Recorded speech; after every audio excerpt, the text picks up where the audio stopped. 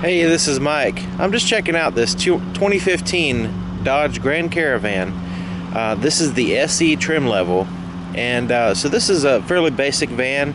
Doesn't have a huge amount of bells and whistles, but it does have you know pretty good amount of value. It's got the stow and go seats and uh, a lot of interior um, design features that I think that's useful for just about anybody. So this one is in in silver, billet silver, and um, you can see it has the you know the basic overall you know look of the Grand Caravans, and you see it has steel wheels with hubcaps, so there's not a lot of luxury going on there, but it is adequate. And here in the front, we've got your just halogen headlights. There's no projectors, nothing like that, and then you don't have any fog lights. You have a chrome crosshair grille there no luggage racks.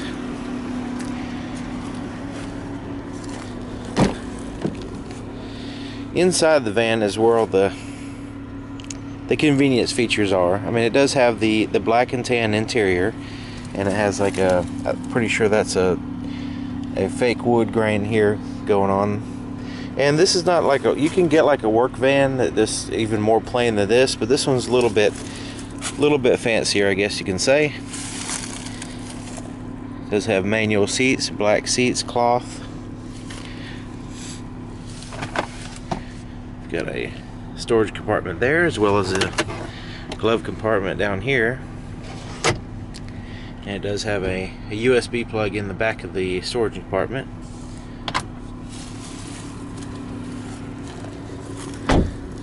And these are manual doors, so there's no buttons on the remote to, to open them up and close them and all that.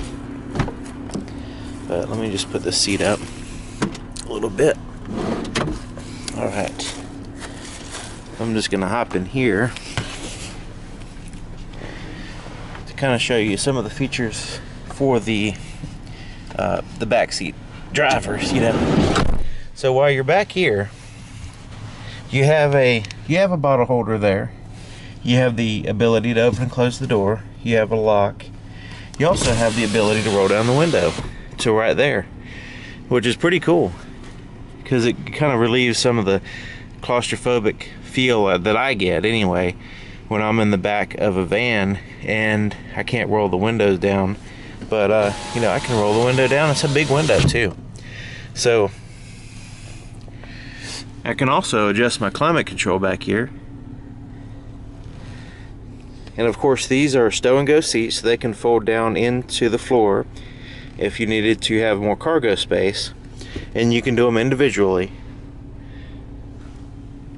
You also have vents back here in the in the ceiling so I can have the air blowing directly on me. I don't have to rely on the vent all the way over there to blow away back here like uh, back in the day. But uh, you know just has a real plain console there not really easy to reach for like cups or anything but um, it's got a net. And it's easy real easy to slide up in the door. If you ever the, the ones that have the electric doors if you ever try to move them manually it's really hard but these are just like real easy to open and close. Sometimes I prefer the manual open and close doors just because they're so easy and they're quicker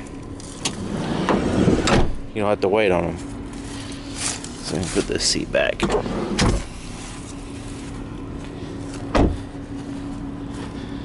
Alright, see what it looks like back here.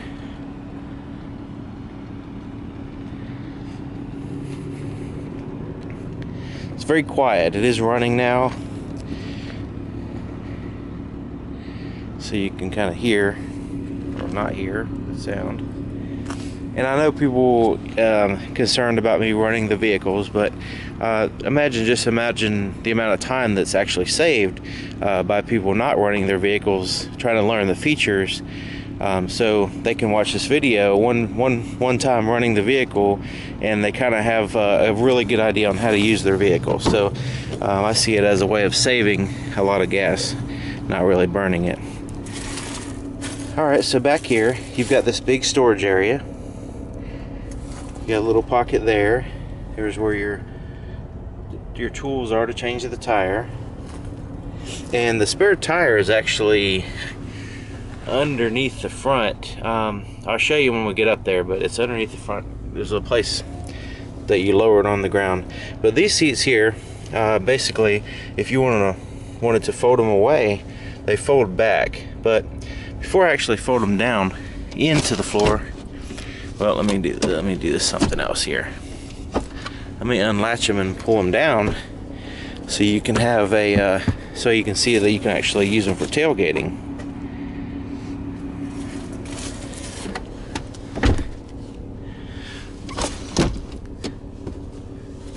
You can also fold them down like so to where you can have a whole bunch of cargo space.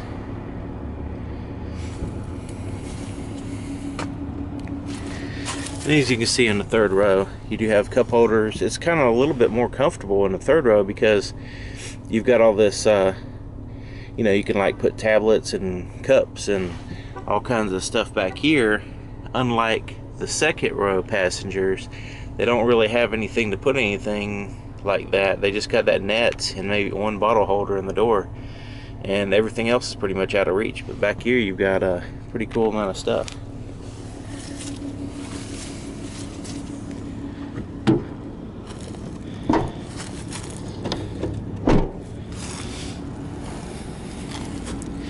I'm going to try to do a video at night. This has the little LED circles here for the tail lights.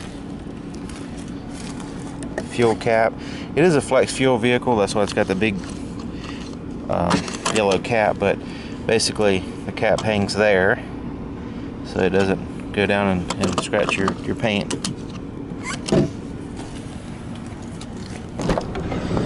So over here, I just want to show you how to how easy it is to stow these seats down in the floor.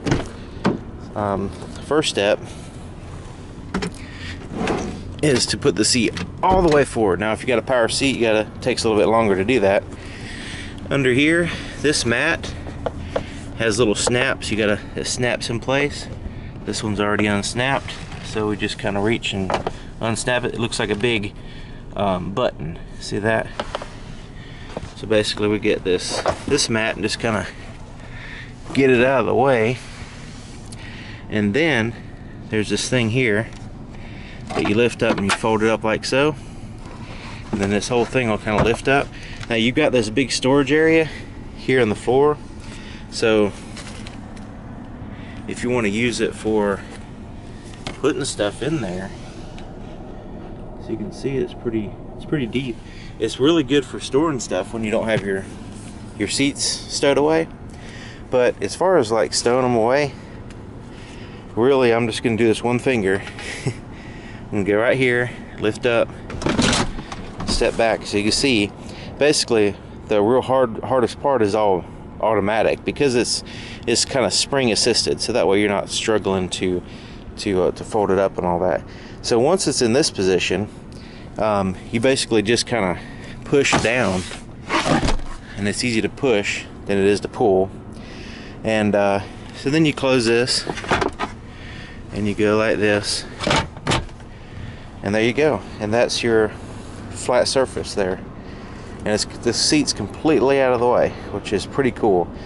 One of the disadvantages of previous year models is that you would have to take the seat out of the vehicle and try to find a place for it. And then once you you're done using your cargo space then you need to put the seat back in then you got to lug this heavy seat back over try to latch it in place and all that stuff so this is a real easy way of getting the seats out of the way when you want them out of the way and real easy to put them back. So let me show you how to put it back. Just kind of unlatch that, fold it up just like before. Alright, so now it's in there and it's got this handle. So I'm going to just use like one finger because I'm going to show you. It's not very hard to lift up. You're not going to break your back. See it's spring assisted. And you get it up to this point here. And that this is where you push down real hard. It's not hard to do but you want to go ahead and snap it down in place.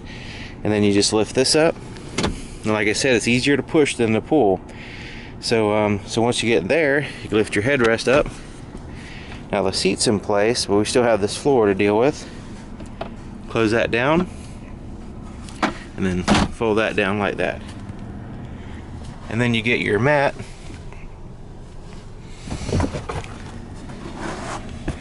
Line up the buttons and snap them in place.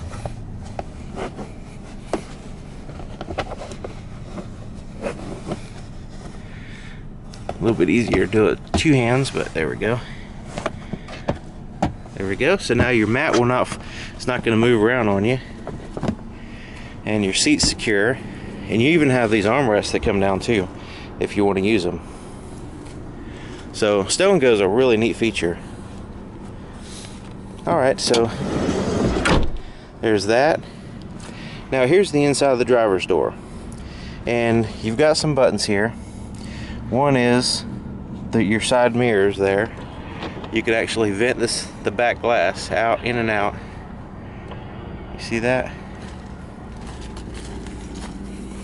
See how it kind of gives some some air to flow through here for your third row passenger. So, so really, um, you can really get the air going in this vehicle. You can roll all the windows down and vent that, and uh, it's pretty neat. Of course, you got your door locks and your window controls. You can roll down the back door glass there. And these these windows are not one touch. They're you got to hold them. The front ones are one touch down, like so. And then going up is one touch as well. Now, if you bump it or something that stops, then you got to hold it. There we go pretty much up and down is pretty easy to do with one touch. Sometimes some of the models they don't they go down but not up and stuff like that. But anyway, this one's working pretty good. Um, like even if you go halfway and then you can stop it and then you can push it again. It goes all the way down. I like that. All right and then you got your side mirror controls which are heated side mirrors by the way. Now we have this place here. This is um, pretty much anything you can put there, but people put umbrellas or um, it's really handy for, I think it's really designed for umbrellas, but you can pretty much put anything in that little spot. Here's your headlight controls and your dimmer switch.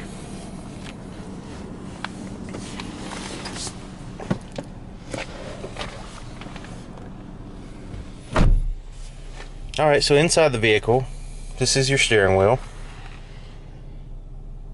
and this is a leather wrapped stitched steering wheel and very good comfort and it's kind of soft to the feel. Got some good thickness. And here on the front of the steering wheel is a um, your cruise control. You just got to make sure that the little when you push the on and off button that the little uh, icon is appearing there before you try to set it and you set it with the negative. Plus is not going to do it on the back of the steering wheel, on this side, is a volume control. Of course, the radio has to be turned on. And let me show you. You can go up and down. You can change to the stations on this side. So I can change. It's on satellite radio, which this van has. Alright, so there's some some cool features there to keep your hands on the steering wheel. It also has Bluetooth, and you once you pair your cell phone with the with the system, you can answer calls and make calls with this this button here. Voice recognition is a button for basically you push it and you can say certain commands and uh, like say tune to a certain station or call a certain person, stuff like that. And just below it, this button's here uh, correspond with this little itty bitty 80s calculator style readout. And basically, I'm gonna hit the step button and it's gonna give me miles per hour, uh, miles per gallon average, and uh, temperature outside, and how many miles the vehicle has. And then there's trip A, trip B, and uh, distance to empty. So basically, if you wanted to reset a trip, there's a reset button below there. Alright, so here's the rest of your gauges. Real basic, simple, nothing fancy there. Um, there's your shifter and it is on the it is right here on the dash so that way it frees up a lot of area down here it frees up area for like a column shift or anything like that so basically it's just very easy to use put it in reverse and then once you get down on the drive You can, uh, you know, you, need, you can downshift if you need to, or upshift uh, using the shifter like that. So here's the radio. It's a pretty basic radio. It's got a CD player. Uh, MP it will play MP3 discs, and uh, it has satellite radio. You got your presets along the bottom. You have auxiliary input, which is really handy for hooking just about anything up. And also, since it has Bluetooth, you can play music off of a Bluetooth uh, device. Like say your phone, if you got music on it, you can play through there. So down here, your climate controls. This is for your front and rear. Uh, your rear controls, you can set it to, you can set it to, for the people in the back to control it, or you can set it yourself uh, up here. So you can, you know, you have that choice. This is for your driver. This is for your passenger temperature, fan speed, and where you kind of where you want the air to blow is these buttons here. Uh, Econ. Used to say Eco, but this one says Econ. I guess it's a little bit more specific to see if you didn't know what Eco was, it's Econ. So economy, you want to uh, if you really want to save gas, you just keep that on all the time, and it will um, it kind of you know tell the vehicle to get the best gas mileage, I guess you can say. But if you really need to go get to all the horsepower, you can turn it off.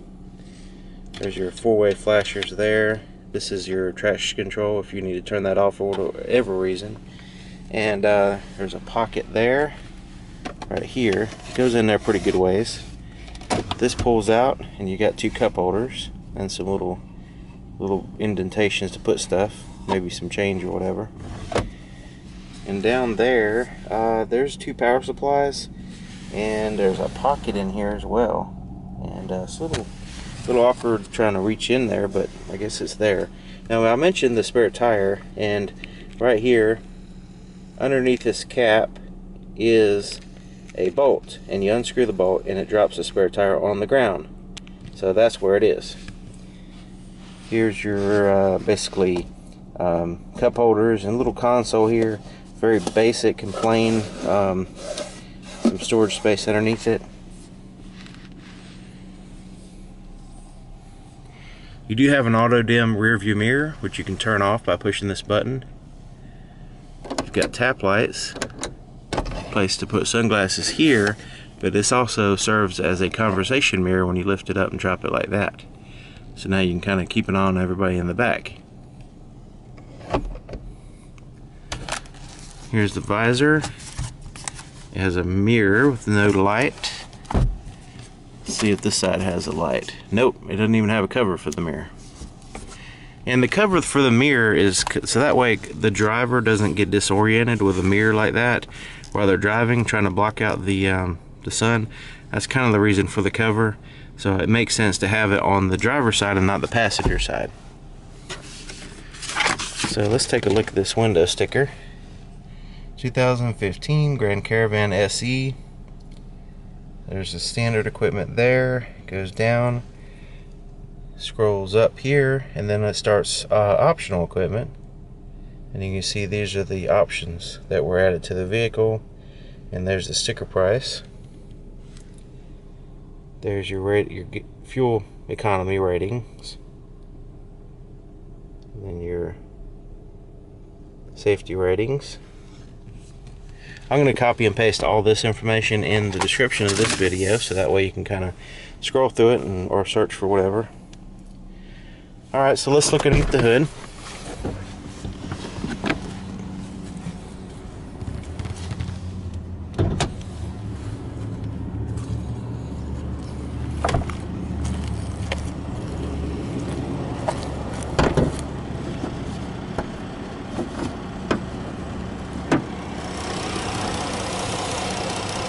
Alright. There you have it 3.6 liter Pentastar V6 and um, it does have VVT system. It's pretty uh, pretty pretty common now for engines to have VVT which is variable variable valve timing. All the yellow is stuff that you would check on your own. If you're not really familiar with cars and engines and stuff literally you just look for the yellow and you can kind of check and make sure um, you know you can kind of learn how to check those things. And um, it's important to kind of know what you're doing because you don't want to open like say the radiator cap while it's hot.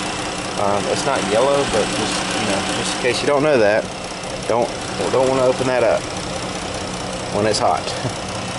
So anyways um, if you have any questions or anything let me know.